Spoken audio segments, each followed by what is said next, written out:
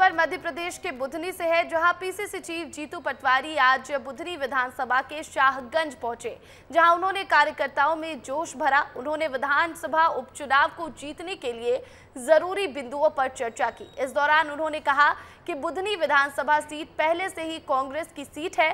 बीच में शिवराज सिंह चौहान के मुख्यमंत्री बनने पर वोटरों का झुकाव उनकी तरफ़ हो गया था, लेकिन अब वो मुख्यमंत्री नहीं है तो हमें हमारी सीट फिर से वापस चाहिए। बुधनी विधानसभा असल में कांग्रेस का गढ़ है। समय, परिस्थिति, काल चूँकि यहाँ के मुख्यमंत्री थे, स्वाभाविक जनता का झुकाव उनकी तरफ़ हुआ है। पर यहाँ की सोच, विचार, यहाँ आइडियोलॉजी कांग्रेस की मज़बूत और अच्छी है। कांग्रेस पार्टी पूरी टिकाऊ है, जब तो देश को आज़ाद कराया, जब तो मज़बूत किया तभी तो विपक्ष की भूमिका निभा रही है।